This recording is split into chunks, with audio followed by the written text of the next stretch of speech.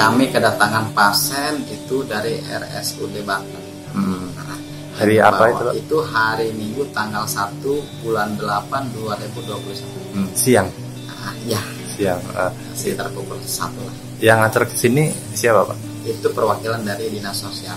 Eh, pada saat datang kakek tersebut itu dari segi fisik eh, ya mungkin untuk kesehatan saya cuma tidak bisa jalan. Hmm. Nah, gitu. Jadi kita bantu memakai kursi roda. Hmm. Hmm. Dan dalam keadaan pun hiperaktif banget. Hmm. Jadi eh, terlalu aktif lah gitu biarpun dalam kondisi seperti itu tapi si kakek itu nggak mau diem.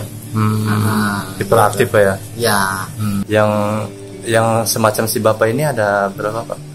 yang semacam si bapak kurang lebih ada 20 Dua puluhan ya. ya. Hmm. yang artinya masih mencari keluarga. Masih mencari keluarga ya. ya. Biasanya proses eh, rentang waktu karantina ini berapa lama pak? Kita ngelihat eh, sikon dari si pasien. Hmm.